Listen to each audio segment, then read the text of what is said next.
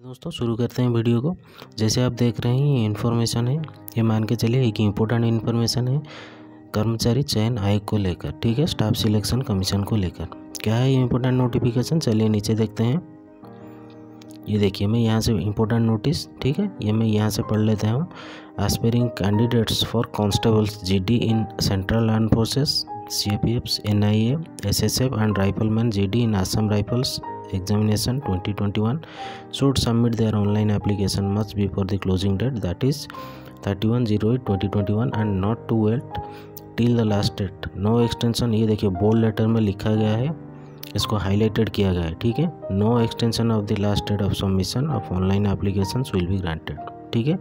इसका मतलब सीधा सीधा ये है कि कैंडिडेट्स जो अप्लाई किए हैं कॉन्स्टेबल्स जीडी के अप्लाई करने वाले हैं constables GD N I S S F and rifleman G D in Assam rifles ठीक है? 2021 का। जो भी ऑनलाइन अप्लाई कर रहे हैं, उनके लिए ये मान के चलिए कि 31 आठ 2021 लास्ट डेट है।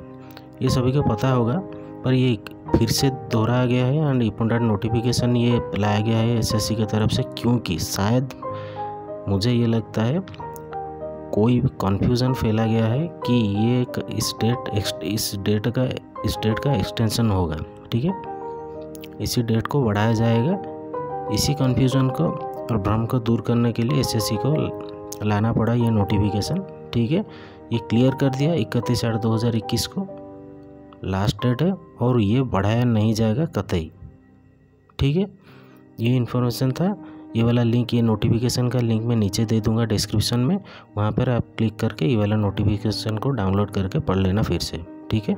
और जो जो अप्लाई कर चुके हैं और जो जो अप्लाई करने वाले हैं, अगर आपको करेक्शन करना है और आप, अगर आपको अप्लाई करना है तो इकतीस आठ दो हज़ार इक्कीस, इकतीस अगस्त से पहले आप अप्लाई कर लेना, ठीक है? क्योंकि डेट अब बढ़ने वाला नहीं है, ठीक है? ये इन्फॉर्मेशन देना था आपको। वीडियो को यहीं पर ख़त्म करते हैं। मैं आपके साथ मिलूँगा एक नए वीडियो के साथ।